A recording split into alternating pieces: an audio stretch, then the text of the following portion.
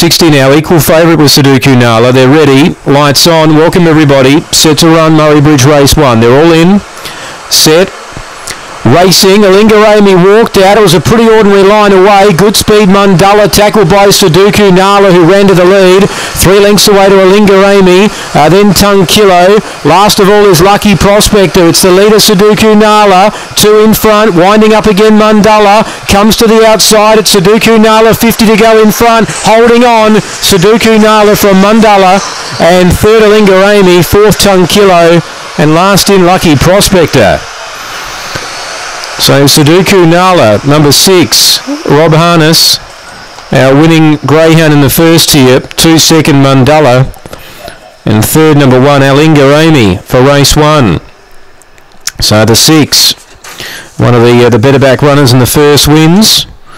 Found the lead, kept going to score a length the winning margin by three quarters. Two second Mundalla, And one third Alinga Amy.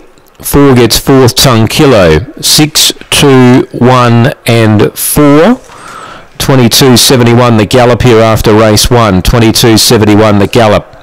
It's a length by three quarters. 6.214 the interims here on the first at Murray Bridge.